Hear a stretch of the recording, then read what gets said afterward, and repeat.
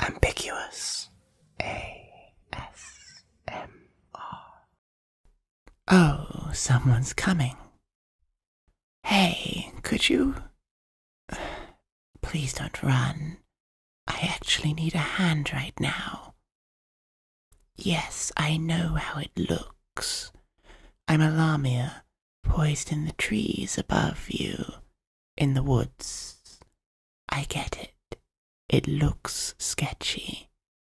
But I know for a fact we're about a five minute walk from town. And like I said, I actually need your help right now. Well, your eyes don't deceive you.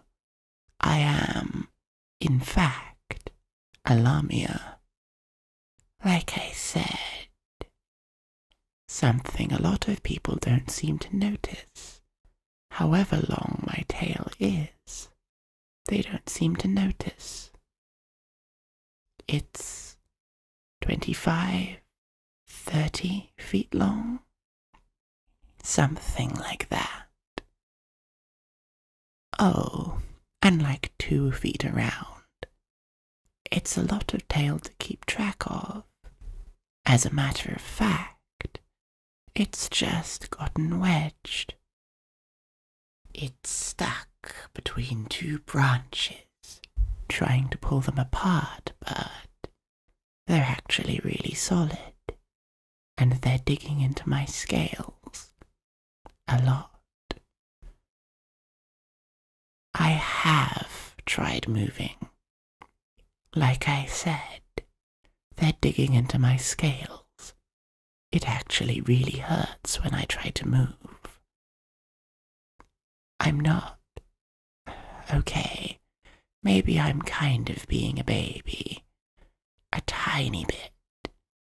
But I think you underestimate how much of a constant annoyance having thirty feet of tail trailing behind you at all times is. People are always stepping on it, or dropping things on it, or tripping over it. It's a big reason why you don't see lamias in towns. Not fun getting your tail trodden on or run over, which happens a lot, I'll have you know. So, you want to help me? I don't want to be in the dark too long. My body temperature will start to drop. Yes, I'm a reptile, or reptile enough to be cold blooded.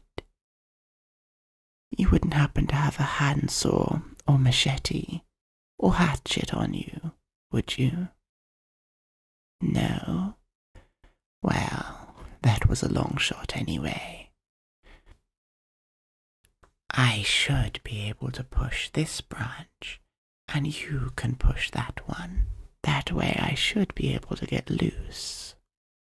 Well, nothing's going to happen if we don't try. You think I should just crush them with my coils?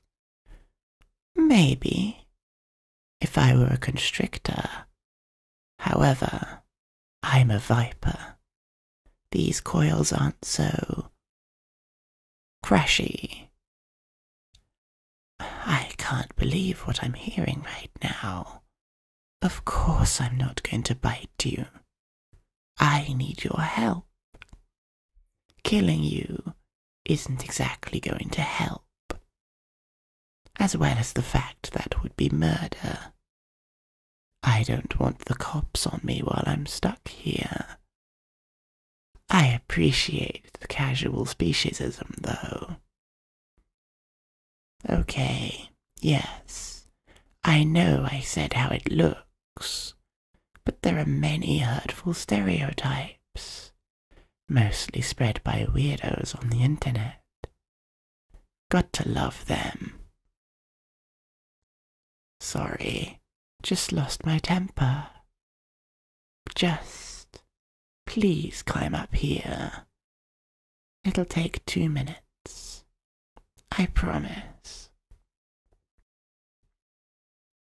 Thank you. All right. On the count of three, I'll push on this one, and you push on that one. One, two, three. Ah, I'm out. Finally. That is such a relief. All right, well, you. Do you want a drink or something? It'll be on me. Well, yes, you helped me. I have to do something to repay you. I can't think of anything you'd want that I own, but humans like drinking, right? I've noticed enough of you limp out here some nights reeking of cheap beer. Although I'm not one to talk, being a snake and all, but I don't think it's good for you to regurgitate that much. You're not a drinker?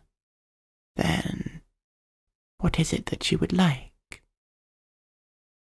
You want one of my scales? That's weird and painful. You can't just pluck them out like I'm a chicken. There's one stuck on. Oh, look at that. One stuck in the branch.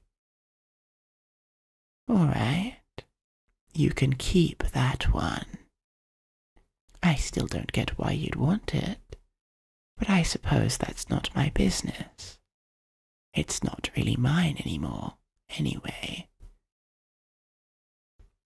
I mean, I shed my entire skin several times throughout my life. You learn quickly not to be sentimental. So, thanks again. Enjoy that. Now, if you don't mind, I'm going to keep sneaking off. Farewell, human.